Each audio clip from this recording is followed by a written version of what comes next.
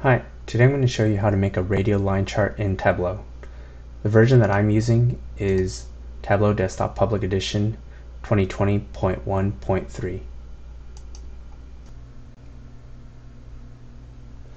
Alright, let's start by connecting to some data.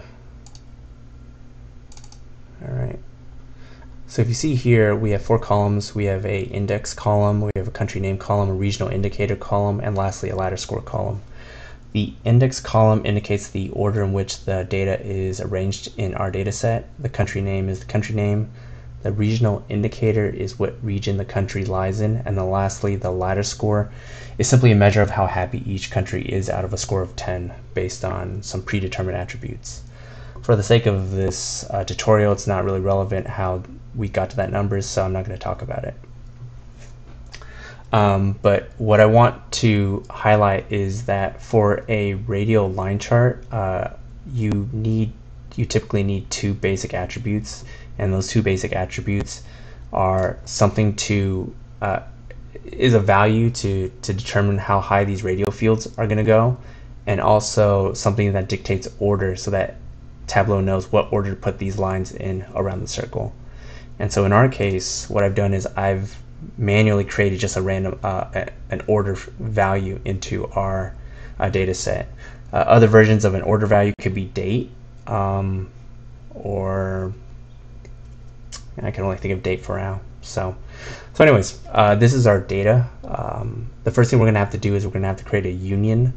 Uh, the reason why is because Tableau, uh, a radial chart is essentially just two dots connected by a line. And so we're going to have to trick Tableau into creating two distinct dots for the same set of data. Okay, so we're going to do that. To create a union, you just drag the sheet over itself, and it'll create a new uh, new column called table name, and it will populate those fields with the original file name. And when it is done with the original file name, it will indicate where the union took place. So after 153, after Singapore, uh, that's where the duplicate data comes in. So you see here WHR20, CSV 1. Okay. All right, now to visualize. So to visualize, uh, it always involves uh, the following seven uh, elements. You're going to have to calculate the path order, you're going to have to set the radial inner and outer parameters, you're going to have to calculate the field angle, length, and then lastly the x and y axis. So let's go ahead and do those seven. So first thing we're going to calculate is the path order. All right. Use an if statement. We're going to reference that table. Oh, gosh, that was ugly. We're going to reference that table name, that, that table name column that we just created from the union. We're going to reference the sheet. In our case, it's World Happiness Report 20, CSV. And any value from the original sheet, we're going to give a value of 1. Anything else is going to be 1, or we're going to give a value of 0, anything else is 1, and that's going to be our two dots on our radial line chart. Okay, uh, it is not a measure, it is a dimension, so we're going to set it as such, path order, okay. Now we're going to set the parameters uh, for the radial inner and outer. Radial inner is 0.5 for now. You can change this whenever, it's not really relevant. It simply dictates how big, uh, how small or large the circle is going to be. So 0.5 for the inner circle, for radial outer, we're going to set as 1. And I'm going to spell outer right. Okay. After that, we're going to dictate the radial field. Uh, the radial field, once again, is how intense these lines are. So the new calculation, radial, radial field, it's going to just simply measure, in our case, the ladder score. Uh, okay, dokie. All right. And then we're going to calculate the radial angle. So because it's always the same seven elements, it's actually a little easier if you just copy and paste the same uh, for the, the formulas down so you can copy and yeah. It is easier for you to just copy and paste all the formulas down and just use them over and over again. And as long as you use the same uh, titles, it should be fine. So we're gonna do the angle. We're gonna do the normalized length.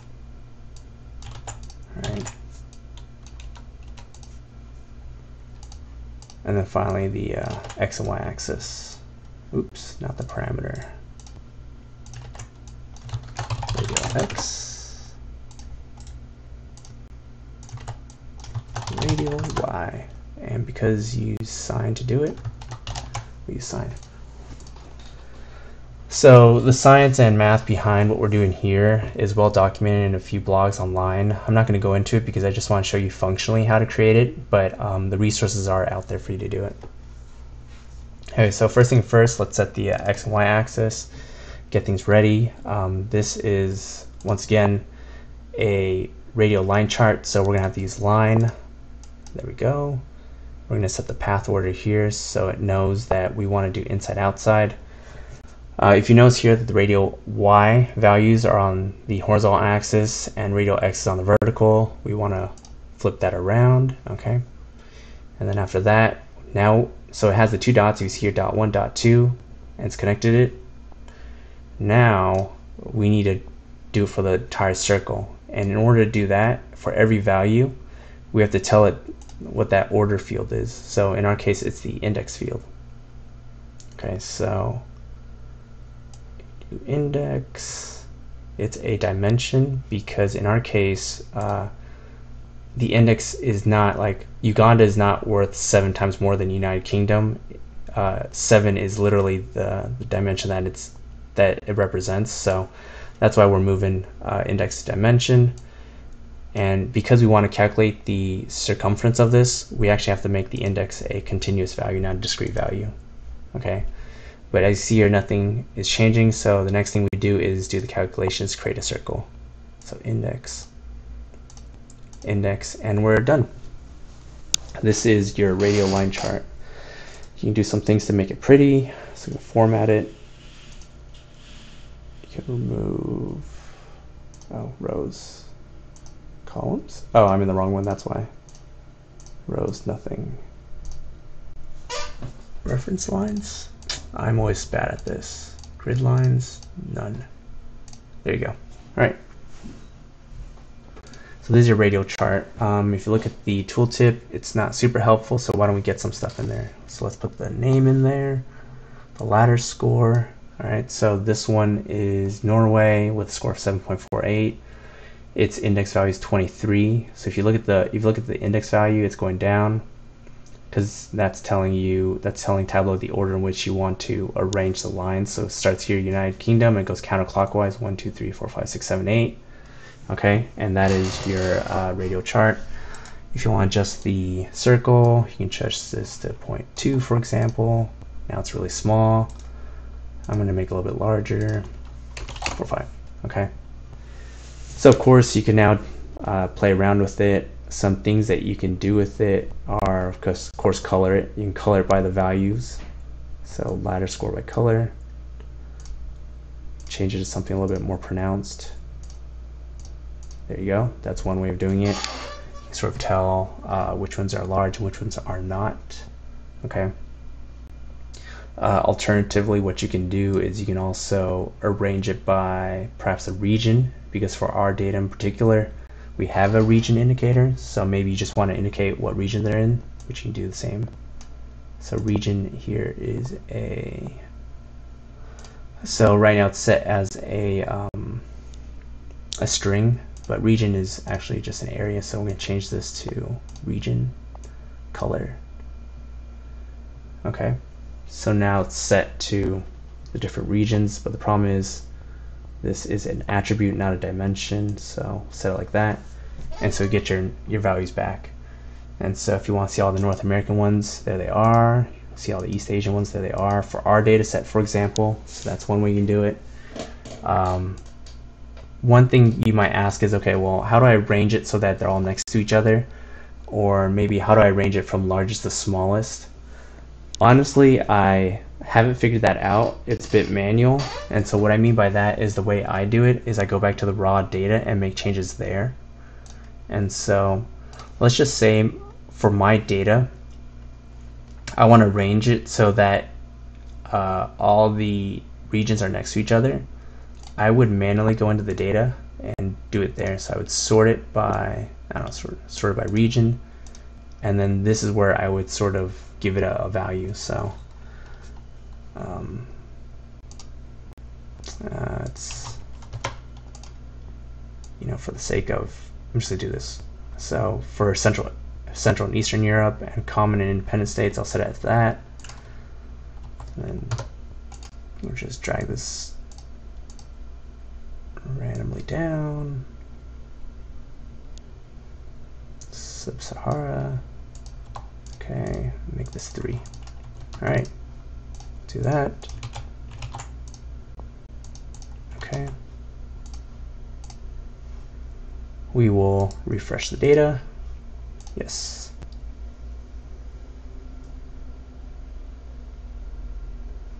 Okay, let's try that again.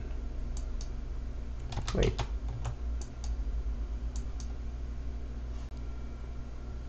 Oh boy, how did I break this?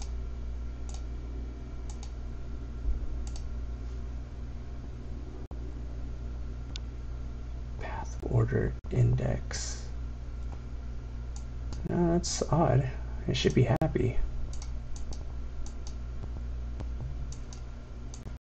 Uh, let's see what's going on. Index. Path order. Let's flip this around. Radial X. Index. Continuous. Hmm, something's gonna be weird.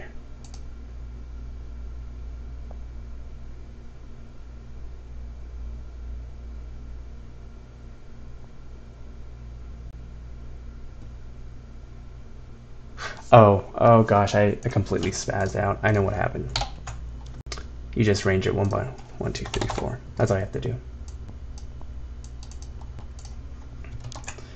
Just do that.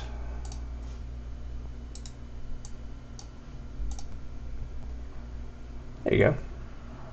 Then if you do region, color, change that to attribute. There you go. And that's how you do something like color. So, like I was saying before, um, if you want to like play around some of the coloring, especially has to do with order, like in terms of like ordering what what's next to what, uh, I just manually do it in the Excel sheet. So, uh, in the situation where I wanted to arrange things by the regional region, I just sorted by that and then rearrange the index. So remember, the index tells Tableau where on itself it's going to place each value.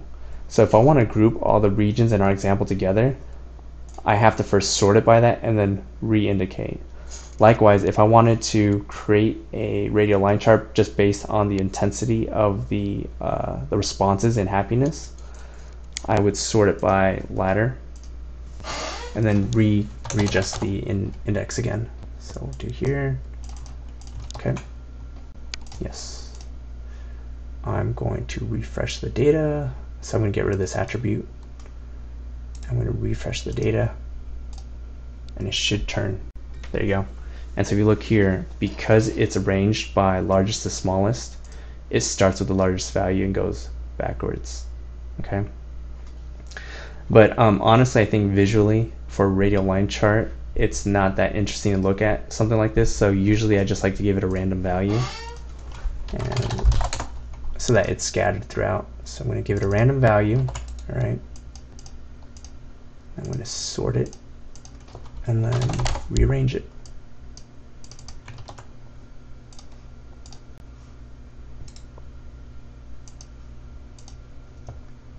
Do that.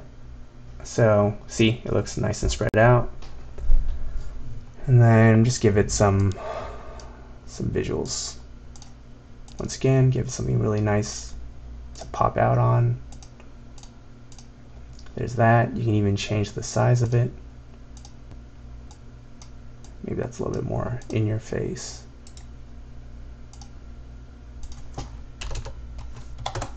There we go. So something like that. The workbook. Show title.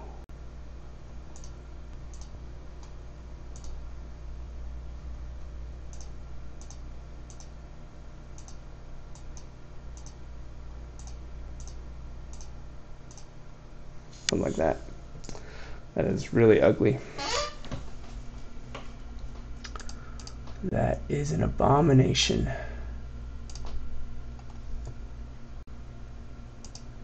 Fixed size. All right, why don't we just do 900, 900. There we go. So that'd be an example of how to do a radial line chart. So hopefully you learned